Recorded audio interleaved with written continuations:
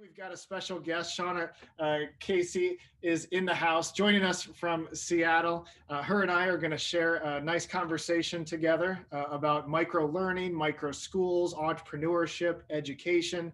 Uh, and so appreciate everyone who's joined us. Uh, Shauna, to, to kick things off, I think there'd be value in um, just kind of giving us an, an overview of uh, not being in education necessarily. I wasn't as familiar with micro learning uh, and, and not, not to mention micro schools. Uh, so how do you describe uh, this type of environment to children? Ooh, I like that twist at the end.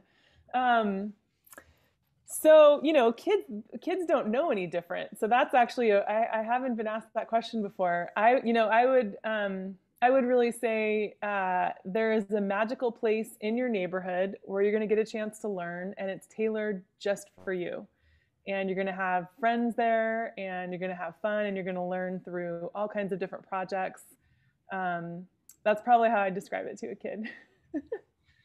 Now, now shifting gears uh, into micro learning and and maybe thinking about the audience of educators, is that something that is commonplace? Is it something that is emerging? Like this concept of micro learning is a term I'm hearing a lot of, but I I, I don't feel like I had ever heard of it even a couple years ago. Yeah, you know, micro schools, um, which is which is used you know more commonly than micro learning it really was a model that existed before the pandemic um, that that was gaining a lot of traction. Um, and and then I think with the pandemic and all the tailwinds that we saw coming, you know, the various reasons, not just safety, but but but safety being the number one reason, it really emerged as and it kind of had this moment in time. I know even you know as as a small early stage startup, you know, less than a year old, we we had you know we were featured in a bunch of different media outlets, which normally as a startup that stage you would never be, uh, you know, on the Today Show and Bloomberg and everything talking about learning. But really, everybody was looking for alternative options. So it's really, um, and the basis of it is really um, small group learning. Oftentimes, it's in neighborhood. Um, a lot of times, people refer to it as sort of back to the one room schoolhouse. Our programs and a lot of the other programs out there about, uh, you know, and some of these are just community based um, or co-op based are usually eight kids or less. Um, and they're not always in in a home. Sometimes they are we, they're in businesses. Sometimes they're in small commercial spaces. But the idea is it's a smaller class size with more personalized learning. So it's in person. Is there also some online components when you have the smaller groups collaborating together? Yeah, there can be. You know, oftentimes those aren't those aren't usually termed micro school because a lot of times, uh, or micro learning um, because a lot of times those are you know that, that's much more common the online. Um, the focus the, the term micro school usually refers to in person. That's interesting. That's interesting. I guess when I think of a new term, I just assume there's some online components. Uh, and so my question uh, is perhaps a little naive, but like, how do you feel uh, online uh, learning uh, and and the what we've learned even in the past year or so can support, enhance, optimize, add efficiency uh, to in-person gatherings, and vice versa? How can in-person interactions fuel a more engaging online experience?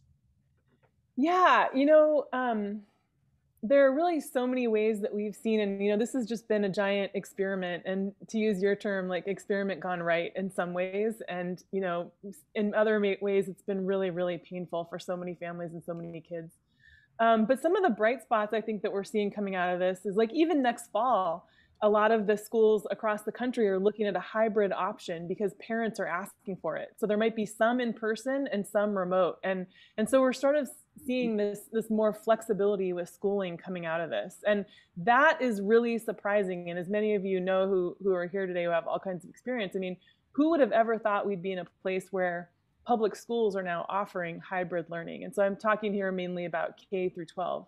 Um, my, our focus is is mostly early child education. We do have some early elementary programs with with our with ours, but um, you know, being being in this industry, I have a pretty good view on sort of of, of what's been happening. Um, the other thing that's kind of interesting is I think that there's it opens up access for what some people call high voltage tutoring. meaning that you can really go deep in a subject that your teacher at school might not might not be familiar with and so you have access i mean we had this access before but now it's just so much more widely used um, for instance learning a language or a unique skill or almost like interning per se you know getting a chance to intern earlier in, in, in or shadow people at work um, and so those are some of the things that i think are interesting. The other thing that's interesting is and, and i know we were talking a little bit ben about some of the benefits um, this idea of supplementing school. So there's there's this huge emergence now in game based learning and it's you know there's people on one side who love it and think it's the future of, of 100% school and there's others who feel like it's actually you know worrisome in some ways but but i think the the idea the spirit with it is that kids are able to learn how to do critical thinking at the earliest years and so a lot of that is happening online this game based learning and one of the most um, well known that's emerging is one of elon musk's projects um, astra nova school that he created inside the um, his his plant his rocket plant um, and one of the startups that came out of that is one called um, oh gosh, it came out of Astra Nova, but it's it's essentially online game based learning, and um, that one synthesis. Synthesis, yeah, synthesis school, yeah. So that's an interesting one. Um, I think the other thing that's kind of interesting is like we're starting to see some of the school districts doing some things like um, like some of the health screenings and things can be done by an expert remotely, and that's that you know sort of exists because of cost savings because there already was like sort of a shortage of having a nurse at every school. Um, so some of those types of things, I think we're seeing efficiencies emerge and new interesting ways that kids can learn, you know, in both ways emerging. I hadn't thought about the specific services within an educational environment and perhaps some shortages uh, being solved uh, through telehealth as an example, right? Um, that's interesting. Interesting. Well, uh, thanks for providing uh, some thoughts on that. And uh, Michael uh, has joined us here today and uh, was the first person to introduce me to synthesis. And I, as a parent, was going through this like, you know all these conversations are so interesting uh, but as a parent i'm also more like sensitive to uh, this small child about to hit the educational system. And so i started to feel like this sense of like this weight that oh i needed to go in and really make sure that these kids were getting all that they could and just knowing the potential of humans uh, with all these conversations with entrepreneurs. And and it, it, almost was like this sense of peace uh, the supplementation allowing uh, students uh, to explore some of these areas of interest. Um, and uh, this isn't a negative, but just looking at school as, as playing the game well, and then going beyond the system to truly uh, explore areas that they're going to get passionate about, uh, potentially even explore entrepreneurial ventures around. And so I think there might be a good segue here, Shauna, to like ask you a little bit, maybe maybe tactics if you want, but just generally too what's the value in blurring the line between the classroom and uh, you know the business environment the startup community the real world? Well you know to kind of go way back here which i think we we touched a little bit on this on your last uh, caffeinated conversation which i loved is this idea that originally the education system was built to support children with the industrial age. And so when you think about back to sort of where we started with education and the fact that you know in 100 years a lot of us who are even working in this field felt like it didn't change very much. Um, and change is hard. And you know, it, you know it's just one of the industries where um, we're trying little experiments here and there. And so i think you know there's a there's a line of thought in this industry with people who are who are working on startups that in some ways, the traditional or existing school system doesn't support kids really in their own individual creativity. Um, and and in many ways creates a level of standardization that is tough for some parents and, and and a lot of us working in the startup field. So I know that might be controversial in this field, but in this in this group because there, we're, we have so many different backgrounds. But it is, you know, this is really emerging as something coming out of the pandemic that people feel like that this, you know, we need change here and we need to see, we need to figure out what, what that looks like. And I think that's one of the reasons why this hybrid approach in some school districts is coming out and parents are asking for it and demanding it. And then parents are taking more of an active role as sort of another educator like they never have before because they've had to and they've realized that this actually it works for them to be a supplemental educator. Oftentimes doesn't work for them to be the main educator.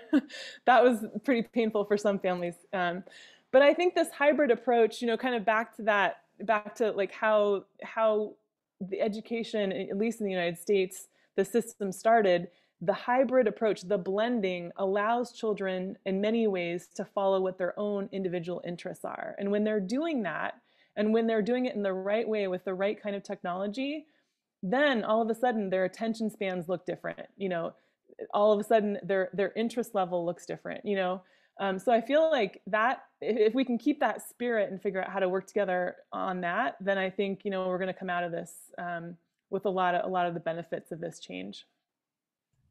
That's interesting. You mentioned it allows folks to lean into their interests, and it would seem as though without the uh, you know the the barriers of location, uh, that ability to import knowledge, export knowledge, connect with folks much further than your local school district, um, even if it's the town nearby or somewhere across the state or around the globe, like uh, collaborating uh, in that way feels like some some fresh energy. Uh, so that's interesting. I thinking about some of the history that you have um, in the startup world uh, within corporate America. I'm curious how that work has impacted your perspective on education, and then maybe um, as a follow up thought.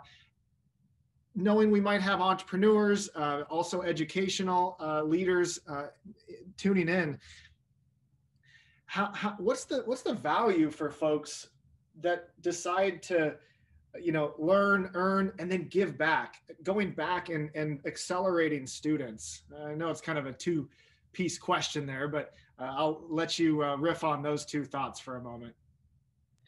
Well i'll take the first one and i might need some clarification on the second one. I think uh, gosh those are such good you are so good ben. Um, I would say, like, this is more of a, per, a, maybe a personal note, but I remember working in the corporate world um, at some of these, you know, massive companies, and um, I, I was, I tended to be the person that would try to do things differently, and usually the way that I did that was an experiment um, that had clear parameters, and then a clear way to measure it, and then I was able to get this buy-in to try to do things differently, and I did, you know I, I was able to do that at Comcast, at Nordstrom, and so eventually, like you know, my my title was like, you know, uh, head of uh, innovation or digital media, and so I was able to kind of, in some ways, kind of create my own position, and I think that's a lot harder to do sometimes in the institutional education field, but we can still do experiments. We can still try things, small experiments. We can still try things differently. Um, and I think so maybe that's one thing that that that sort of is in the back of my head is even with you know big existing um, institutions we can still try small things to do things differently measure the impact and then and, you know and then share the knowledge really. And i think you know you're seeing a lot of that during the pandemic with all these different models um, popping up. But yeah your second question was um, T- tell me more about your second question. Well, thinking about an entrepreneur's perspective, um, I always find it so energizing to be around students, uh, to share, you know, my two regrets of not starting a company earlier and not understanding the value of an engaged network. I'm so quick uh, to get passionate because it's just like almost out of envy. These folks have such an yeah. earlier uh, interaction with the entrepreneurial spirit.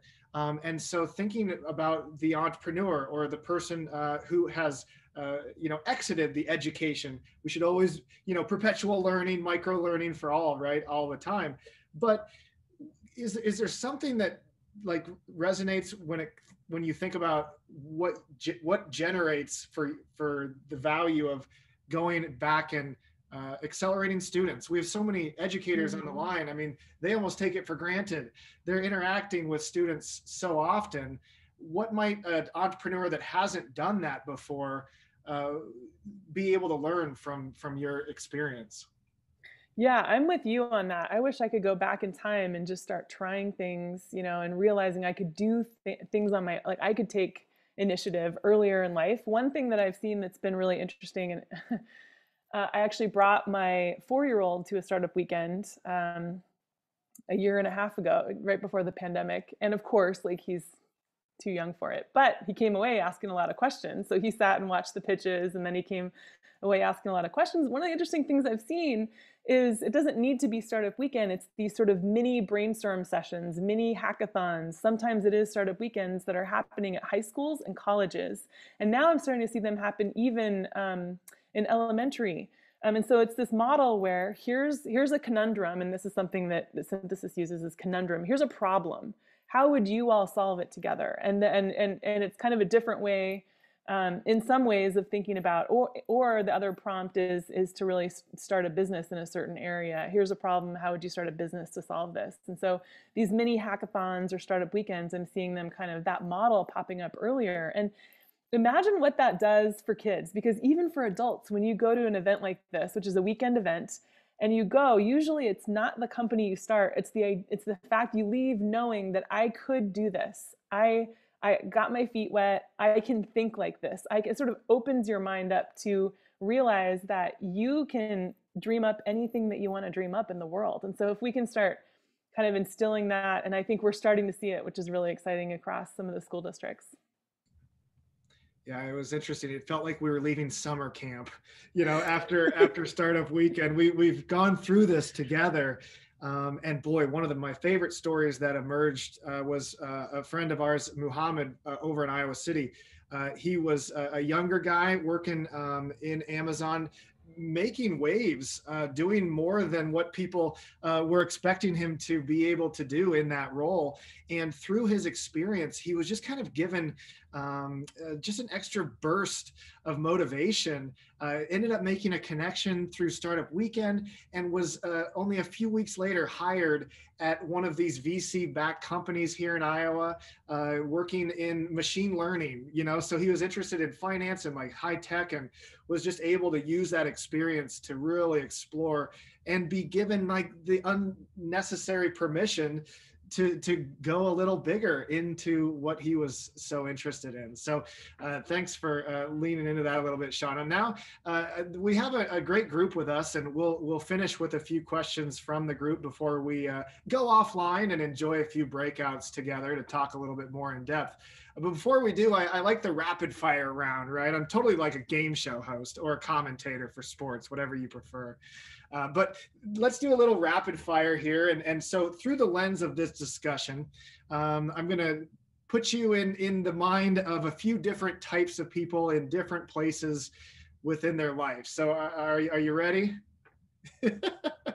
All right. So, what might you suggest? And this is a very broad, uh, you know, offer. What generally in the wide universe of thought would you suggest uh, for parents with young children about to hit the educational system for the first time? Uh, I guess two things. I think we've already talked a little bit about them look look for um, ways that you can supplement based on your child's interests because I think I, I, have this belief that so many kids have the, this innate interest in different areas that emerges, and if we could just support that at the earliest ages, it's it's it's pretty amazing to think what might be possible. Um, and then I think the second one is um, I think to take a you know um, a supportive role in the, in the school district. So whatever they're focused on at home, you know, how can you also highlight that through adventures or exploration or but but project based, you know, like how can you bring it to life in real life? And I think that's when the learning gets really fun. Nice. I see Nancy giving that virtual round of applause to that response. So thank you. Uh, now, shifting gears, uh, fast forward a little ways. You're, you're a high school uh, teacher all of a sudden. And you uh, have been tasked with uh, creating a space uh, to allow students to explore entrepreneurship. Um, what are you talking, uh, what are you thinking about as a, a, high school educator in that type of a role?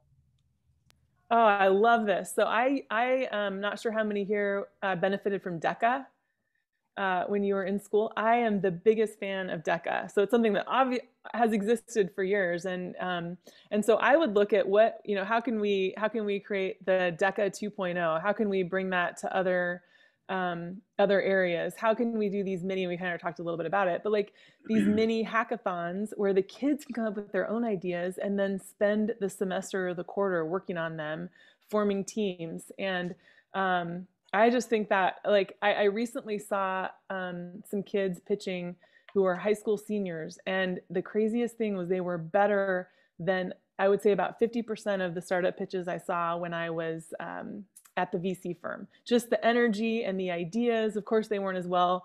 The, the, the decks weren't as well um, thought out, but but the creativity that we have as kids, like why do we lose that? It is the the most special thing. And so if we can hmm. keep supporting that, sorry, I can, I can go off on this topic, but I would do something. I love DECA. I think Greg said something uh, last month that everyone uh, smiled at. He was like, "The most successful adults are the children that never died," or something like this. You know, a beautiful little thought on maintaining that sense of wonder, uh, but also uh, the vulnerability uh, and the willingness to kind of explore uh, without as many cables connecting you to past experiences. Uh, all right, shifting uh, again, uh, now you're teleporting into a high school student. Oh my goodness, rewind, right? For a lot of us. Now, now you're about to uh, go to, you're about to graduate. Oh man, now, now what are you thinking? As far as advice I would give myself? Oh, wow. Oh gosh. Um, I would, um, I would try to, you know, I think it's maybe a little bit of, of, of what I ended up doing on accident was just trying to get my foot in the door somewhere. And then in some ways, sort of creating my own job the best I could by doing everything I needed to do for my position and then finding other projects that I really liked that I was interested in and trying to pitch myself working on those um, because that that sort of level of experience, I think I learned a lot more than I did in some of my college courses. Um, just getting that hands-on experience, but I would try to do it before I graduated college if I could, and I wish I would have done that. Very cool. Very are great cool. questions. so, uh, la- last teleportation into the mindset of a college professor, um, or perhaps a, a veteran within education, as they continue to um, you know reinvent themselves as they're guiding their students. What are we what are we thinking about as far as uh, uh, you know thoughts uh, or suggestions for this type of individual? So i'm a college professor. Uh, correct. Okay. Been in the game for a while. Okay. Uh ooh wow. Okay. I would um you know i would have um everyone in my class uh, in some way go like support, mentor, help at a local school. And I would have them do a lot of listening, uh, these the, the kids in the class. I would want them to remember that there's all kinds of ideas and, and creativity that can happen at a younger age. You don't have to kind of get into this set way of thinking. I think it, I would just try to give as many reminders as I could that that um, to, to, what you just said of the idea that um, you know the, the sort of spirit and creativity that kids have as well as just being an active member of the community and kind of knowing that um, that we're all supporting each, each each other in this community. So i feel like i would want to remind them of those two things. A couple more questions then we'll open up the grid view and have questions uh, from folks who have joined us this afternoon. Uh, thinking about the folks even on this call, how, how can educators collaborate? Um, we, we look at like the Startup Community Way, the uh, latest from Brad Feld and Ian Hathaway, looking at like the positive sum mindset and uh, building from within and uh, supporting each other in a collaborative approach to economic development. How can that translate uh, within the educational environment, both in the K through 12, the earlier years, but how does that wrinkle of tuition somehow change that narrative? And can we still be collaborative while, uh, you know, uh, being in the uh, higher educational environments? So how can we be collaborative? Oh, so uh, yeah. Um, well, you know, one thing that I will say, there has never been a better time. Like we all saw what the Biden administration just came out with. There is there is an influx of funding and there has never been an openness like there is right now for for small changes let's say you know they don't have to be massive changes. But in the interest of kids in the interest of of the educators what benefits them? I think you know everybody's ears are open. I've had school districts reaching out. I've had city council members reaching out. I've had so many people reaching out over the last year asking me what can we do together? How can we change this? And i think one thing that i wish is i wish i was actually on the inside so i could have both of those points of view i think um, it's going to take leaders from both sides working together not only you know educators working together and administrators working together but then looking at like what are other models that are working out there and how can we help kids right now and parents because parents are demanding different types of things. But i feel like there's a massive sense of urgency because there's what have we got you know maybe six months where we're going to be figuring this out. We're going to be figuring out how the, the funds are going to be allocated across every state um, but i'm seeing all kinds of openings right now for grants and for different ways of, of um, uh, you know, of schooling, of looking at how we can support kids. You know, we look at the learning loss that's coming out, and, and a lot of these these areas that a lot of people care care deeply about. And so there's sort of never been a better time. So if, if there's anyone that has an idea across any sector, um, I think that you know there's there's an interesting opening right now to, to think about how to how to collaborate in a different way. It's interesting how you mentioned uh, kind of the uh, the the synonym of being an entrepreneur and allowing you know them to lead from within and does this help an entrepreneur if the answer is yes, then it's probably good for the entrepreneurial ecosystem. If the answer is no, perhaps it's misguided or self serving. Um, I think of uh, this graphic that uh, you're looking at here, where that entrepreneur sits in the center.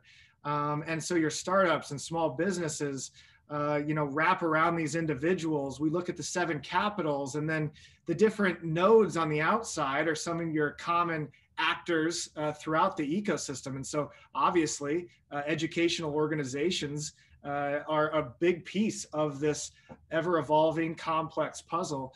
But if you were to replace entrepreneurs there in that center of this pinwheel with students, and as decisions are made, bringing them into the conversation, uh, allowing uh, the uh, initiatives to continuously be guided by those that you serve, whew, that's easier said than done.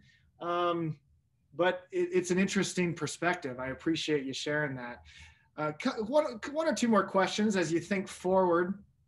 Um, I ask this question to a lot of folks in this realm, and I'm always uh, interested in the uh, kind of the, the thoughts around what can students learn in school, um, in their educational environment, that they cannot be taught by the internet, uh, that cannot be taught by personal experiences and interactions uh, that they have for themselves?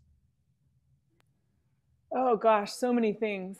Um, and and and I and this is a, quite a focus area for me because my focus is early childhood education. So I'm focused on kids who are one to eight years old, and and and even you know even a sweeter spot is one to six years old, and we can't put them in front of screens. This is not you know a group that you know is is going to be able to learn the basics of how to learn in front of a screen and so i think that there's you know they learn a lot from you know young, children learn, learn a lot from parents and they learn a lot from their experiences um, in their families but they you know at that young age they are learning to ha- how to like you know how to how to love learning later in life they're learning how to socialize they're learning how to work out their feelings. They're learning how to communicate.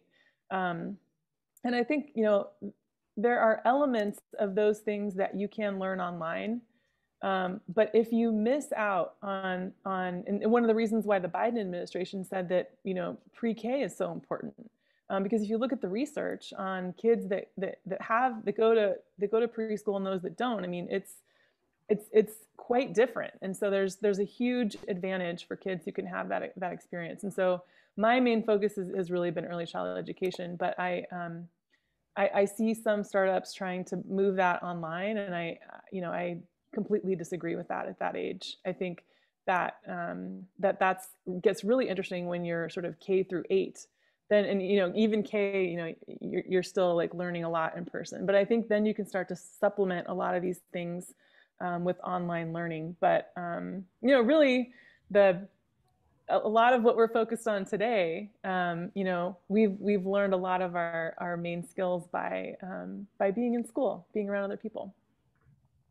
I'm going to kick it uh, into grid view. So be ready uh, for those of you in the room. If you have a question, we want to create a little space to finish uh, with uh, thoughts from the group. Um, before we do, I'll, I'll, I'll uh, share. A, I, I kind of am a futurist. I like thinking deep future, but also recognizing that even uh, 10 minutes from now, five, five years from now, those, those type of thoughts uh, are always interesting as well. And so I'm curious what you think education looks like in 10 years, um, and then translate that 50 years just for fun. This would be a great question for everyone on the call, too. Um, did you say five years and 50 years? Yeah, how about that?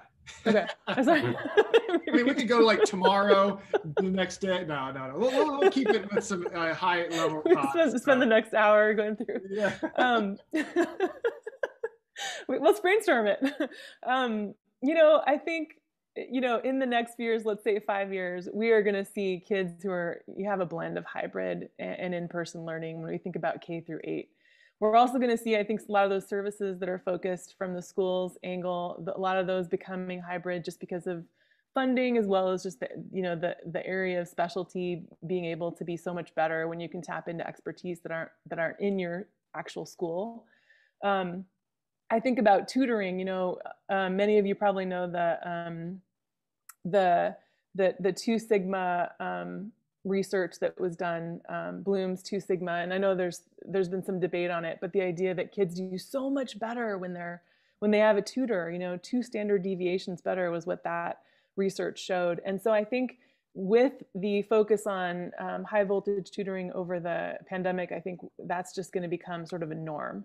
Um, I think personalized learning, we're going to see AI, um, different AI technologies develop focused on personalized learning, which I think we should all be very active in. We should all be following that and very active in because it can go well or it can be scary. And it's all based on how that algorithm is built, and educators need to be involved in that process. I really believe that. So I think we're going to see a lot of um, a lot of that. We're going to see a lot more game-based learning, a lot more project-based learning. We're gonna, I think, we're going to see a little bit more um, learning outside because people are going to then turn away from the screens and want to have a, a, much more of a focus on forest schools and outdoor learning, which is which has been a big focus coming out of the pandemic as well. Um, there's a there, we're going to see more world schooling and unschooling, so a lot of these alternative areas where um, kids are traveling and learning. You know, the, those that can that can afford it. Um, so I think we're just going to see we're we're going to see. You know, there's still I think there's still going to be the the general uh, public schools, we're going to see bigger sectors than we've ever seen in the past of these different alternative schooling models. And I think slowly those will be accepted by public schools. Parts of those will be accepted by public schools too. Mm. 50 Personalized years, learning. Very, very interesting to think about all the different ways that that can apply. I also think of peer to peer, being able to apply that personal interest with others who share uh, that as a, a, a, a efficient way of personal growth. Uh, I want to kick it out to the group here. We've got a collection of wonderful and remarkable people. Uh, and so if there are questions that linger, Curdy's got that virtual hand up. Uh, so we'll start with her. That's actually my real hand. oh, that's true. I, it's all the same, I guess. these, uh, you two enjoyed uh, you two enjoyed a fun fireside chat uh, during Startup Weekend Iowa a month or so ago. Uh, that continues to be one of the highlights of our time together from that event. Uh, but yeah. now you've got another chance to ask a, a question of Shauna. What's on your mind? You know, what's on my mind is the discrepancy between the haves and the have nots. So I think, and haves, you know, when it comes to virtual learning, haves doesn't mean the 1%. There's a lot more in that, right? But for those whose, um, parent literally school is the place where the parents can leave their kids for the day everyone is just mm-hmm. like there's no time to organize special projects or whatever um, making sure that some of the things you just talked about is equitable across society. Do you know who's working on that? Who's talking about that? Like I'll tell you, my public school system here, I mean, we have a change coming up with our superintendent, but still, there it's been really hard for the school administrators to um, implement some of these great ideas. Even though technology is there today people are throwing hey i'll give you free wi-fi access. They're getting equipment to everyone. It's still really hard. So i'd love to hear your thoughts on that if you've heard anyone talking about it. Yeah no it's a question i get asked in, in different ways quite often and i think is, has been such a hot topic especially throughout the pandemic. You know um, it's i do think it's one of the things in many ways to be hopeful about is you know in some ways the the move to more online has has in some ways democratized learning meaning like khan academy is you know seen as one example. I know um, the person who's over at youtube working on education and so there's a new focus there on education. And so when we think about access you know it has opened up access. Also i think the other thing that makes me hopeful is how much money the um, the current administration has put into schools that are focused schooling that's focused specifically on that sector. Um, mm-hmm. And I feel like once the money's there, you know, I and the funding's there to support that, we we're saying that's important to us as a country. It's it's a little bit harder to take that money away when it's there. You know, um, it's, it's it's sort of an essential service. Um, so those are the things that I think I'm hopeful about. And then a lot of the apps and and some of the um, different things coming out right now, you know, are free or pretty low cost. Um, so the, I guess those are the the areas that I'm I'm I'm hopeful about that I see. Um, there's also a, an, an, example here in um, in Seattle. There's also a lot of niche examples. So there's one called Ada Developers Academy that's focused on um, women learning the code, women coming out of other um, sectors, learning how to code and make, you know, three or four times as much as they were making before, um, going right into a job at Facebook or Google. Um, so there's, we're starting to see those type of niche um, um, sort of mini schools pop up as well. but Kirby, I'm, I'm curious if you've seen anything too.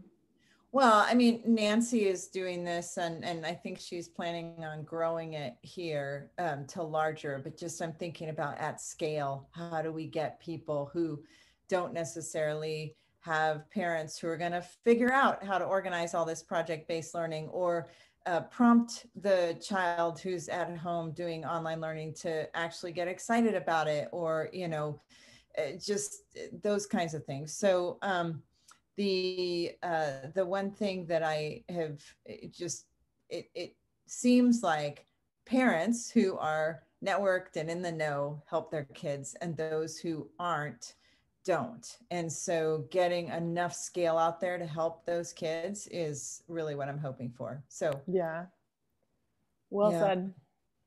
Mm. Thanks, right. That was a great question. And uh, I know Mark had shared a quick thought uh, in our chat. So I uh, invited him to pop onto the spotlighted stage and share his thought or question. Uh, kick it over to you, Mark. And you're so generous. And I just, I love being in these kinds of events with you. You're such a natural at this. It's really, really fun. Uh, Shauna, what a pleasure to meet you. And I'm not buying it at all that you're in Seattle with all that sunniness happening behind you there. Um, I, maybe that's a prop, right? Is that one of those artificial screens behind you? Everybody in this city is in a great mood today because it's sunny. yeah, that's fantastic. Um, I did make a comment about uh, indiv- individualized adaptive learning. I'd like to back into that by, by first uh, just sort of echoing um, what, what uh, Curdy was just talking about. I, am real interested in um, success and equity um, and student engagement. And uh, the student engagement part, I th- uh, part I think is interesting because we often ask students, well, how, how engaged are you? Or I think they hear, how much work are you, are you being asked to complete? And I worry that sometimes I think it's like the farmer asking the pig uh, whether for dinner there should be pork, right? They kind of come at it with a little bit of a bias, right? So I don't know how we get at the engagement thing, but I suspect if there were an objective way, we would find the work that you're doing is really hitting them at that higher engagement level. And that's an important piece of the puzzle for where we are today and where we're going into the future. Um, but the success and equity piece, I think, is really important for all the entrepreneurs um, because as we're deploying and we're having an opportunity to, to uh, vet products and, and ideas, uh, pre and post test, gathering data, gathering uh, um, quotes and testimonials from end users, it's important. It's important for marketing. It's important for sharing the good news. I think it's really important as educators um, that, that we're able to see uh, results driven uh, recommendations, right? Um, there's so much noise and you may have the right answer, but if, if I, as an administrator, I'm getting 50 emails a day, I don't have time to vet all of those to find the answer that, that is legit that's out there. Um, those were just random thoughts that I had. The individualized adaptive learning, I'll just briefly summarize by saying uh, our ability to create inference engines like we did, like, like they do with, you know, Amazon when I'm shopping and spending far too much at 2 a.m. Uh, to serve up what we need, right? Uh, coupled with the ability to, when we discover a student has a gap, scaffold to that learning, right? Those two things coming together on an individual basis, I think that's where, certainly that's where um, um, there's a lot of growth for, for education and in particular higher ed. Uh, and I think there's, I think that opens the door for a lot of entrepreneurship. Um, I'm thinking of one company uh, that I was I was involved with recently called Knewton, um, and one of the things that they did, I love this, you guys. They have a single fee that allows a student. Uh, they tested this at the University of Texas in San Antonio. A, a student get their full four-year degree uh, using the same Knewton platform, and it's essentially like they're buying a textbook, but there's no textbook. They do all the online learning. And the machine learning that happens as we discover what kind of a learner you are and what, what you need um, carries over to the next class that you're taking. And so it already starts out as if it's a as if it's the professor who's having you a second time around. And it continues all the way through the four-year degree. So think about it. You, you're taking now organic chemistry, but it already has the information for what your weak spots were in algebra, right? And so it can make sure to serve back up to you reinforcements for the things that maybe weren't strengths in prior semesters. That's the kind of smart future that I think um, is, is, is coming to us, right? And I really hope that Iowa entrepreneurs um, find those kinds of opportunities and make the most of them. Um, so those were just random thoughts. Ben, thank you so much for giving me a chance to jump in with those. I was just taking notes. That was so that was that was great. I totally agree with you. Yeah, that was uh, that was sharp as always, Mark. Uh, you have a way with words, but also a true understanding uh, that goes far beyond the jargon. So thank you for uh, stopping by and, and sharing that thought. Um, if the group doesn't have any more uh, questions, we'll go ahead and start closing things down, uh, knowing that the audience for these meetups are folks interested in the intersections between education, entrepreneurship, and innovation. Uh, Shauna, as we close things down, I'd like to create some space to give you the stage one more time to share any closing thoughts, things that you'd like to leave with this group. Uh, and uh, once again, it's been great to have you join us uh, for this and looking forward to continuing to collaborate between our different worlds that have seemed to become perhaps one. so thank you for joining us and I'll, I'll let you close us out here today.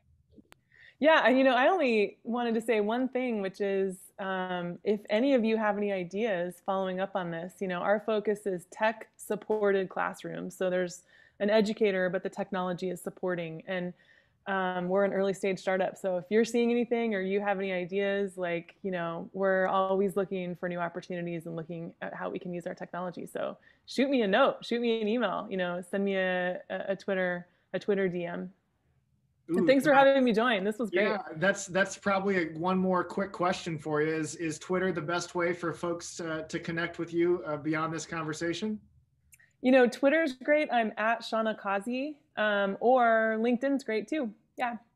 That sounds great. Well, Shauna, thanks again for joining us. Uh, and this has been a treat of a discussion, a caffeinated conversation, if you will. Uh, and we'll see you next time. Cheers, everyone.